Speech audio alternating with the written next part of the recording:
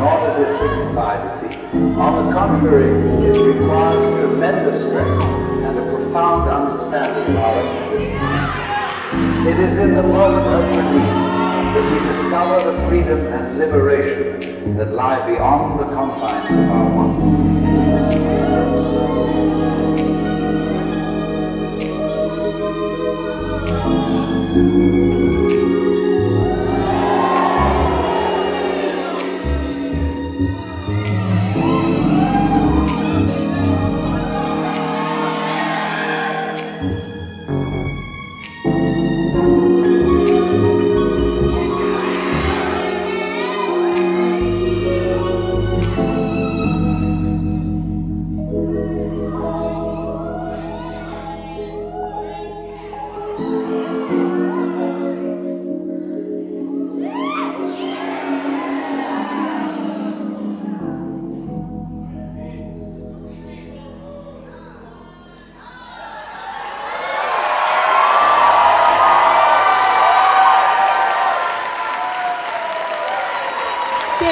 Give it up for